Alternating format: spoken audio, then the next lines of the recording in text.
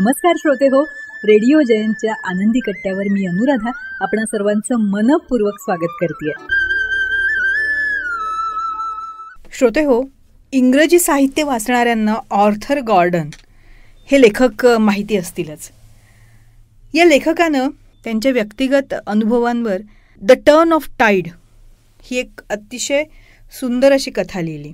आणि त्यांनी असं लिहिलं की त्यांच्या आयुष्यामध्ये एकदा खूप निराशेचा कालखंड आला होता.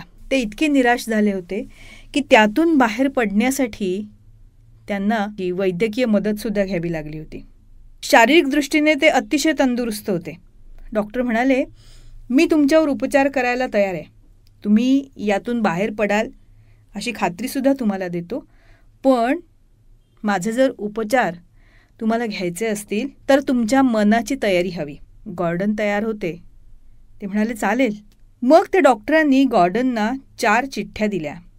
आणि म्हणाले की या चार चिठ्ठ्या घ्या आणि सकाळी समुद्रावर जा. बरोबर खाण्यापिण्याचं साहित्य घेऊन जा.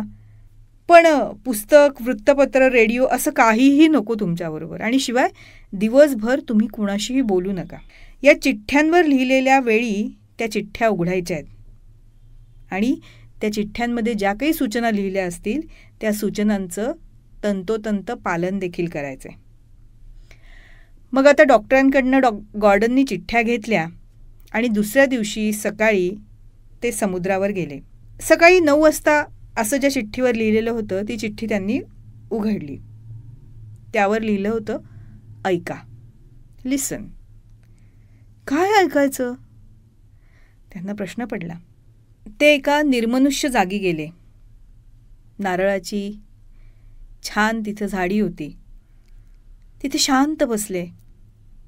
आणि शांत बसल्यानंतर त्यांना समुद्राच्या लाटांचा आवाज यायला लागला.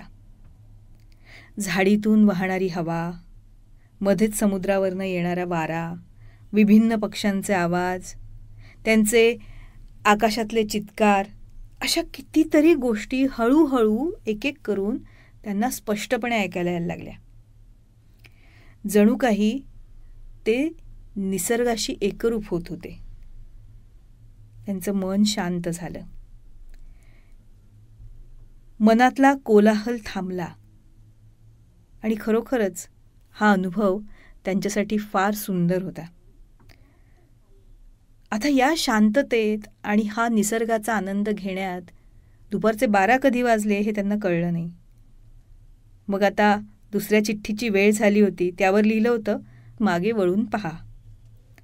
त्यांना काय करायचं आहे कळलं नाही त्यावर लिहिलं होतं मागे वळून पहा.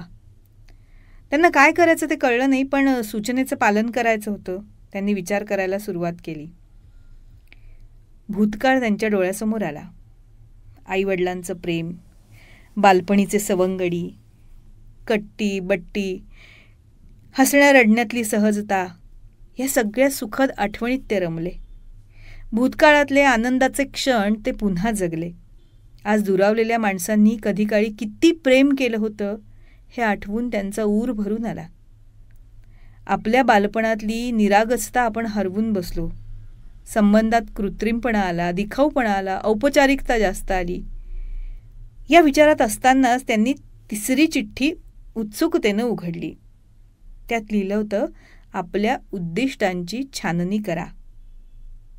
गॉर्डन म्हणतात की मी स्वतःला फार हुशार समजत होतो.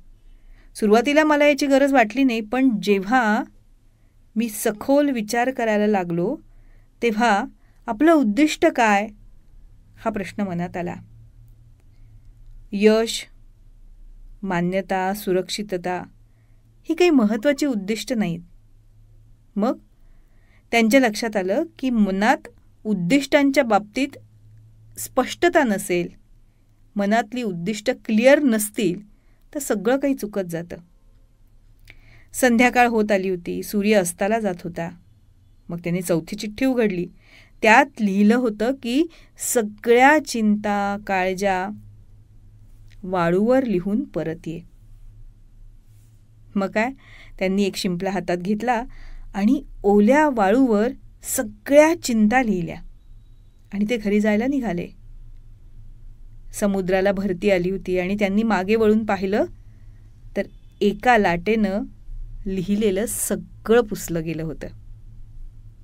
आणि गॉर्डन म्हणतात जेव्हा मी ते दृश्य पाहिलं जेव्हा मी तो दिवस अनुभवला तर तो दिवस म्हणजे माझा पुनर्जन्म करणारा झाला. श्रोते हो गॉर्डनच्या या कथेचा सारांश आपल्याला सांगण्यामागे उद्दिष्ट हेच की जेव्हा जेव्हा आपण निराशेच्या गर्तेत जातो तेव्हा निराश न होता निसर्गाबरोबरच स्वतःत रमायला हवं आणि आपलं आयुष्य पुन्हा रिस्टार्ट करायला हवं. काय? पटतंय ना? तेव्हा श्रोते हो हा होता आनंदी कट्ट्यावरचा आजचा सुंदर विचार. तुम्हाला तो कसा वाटला? याविषयीची तुमची कमेंट कमेंट बॉक्समध्ये नक्की लिहा. आणि त्याचबरोबर रेडिओ जयंतचे दर्जेदार कार्यक्रम ऐकण्यासाठी रेडिओ जयंत लाईक करा शेअर करा आणि सबस्क्राईब करा. रेडिओ जयंतचं सबस्क्रिप्शन फ्री आहे. आणि त्याचबरोबर नोटिफिकेशनसाठी बेल आयकॉनवर क्लिक करायला सुद्धा विसरू नका.